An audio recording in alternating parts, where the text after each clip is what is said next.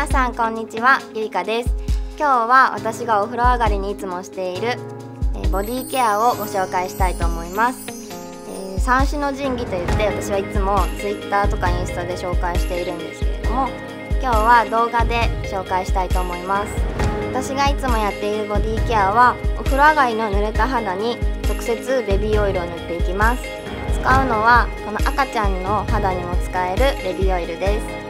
私はワンプッシュでだいたい両腕にこうさっとまんべんなく塗っていきます。その後にこのキクマサムネの化粧水を、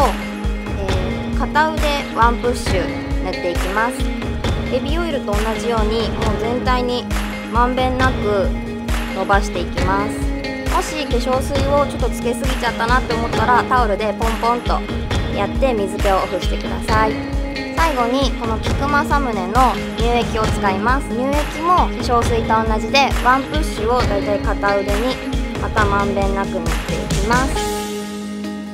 うんなんかほんのり日本酒のいい香りがします。なんかちなみにコメントくれたフォロワーさんからはなんか彼氏がもうしっとりして気持ちよすぎてなんかずっと触っていたくなるみたいな感じのことを言われた女の子もいるみたいなので彼氏がいる子とかあと乾燥肌の子はぜひ試してみてください。だいたい効果は、ま3日ぐらいやれば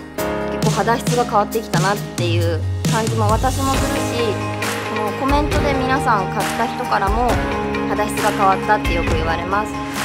で3つ重ねるのは結構大変だなって思う人もいると思うんですけど、まあ、3分から5分ぐらいあればできるので是非実践してみてください。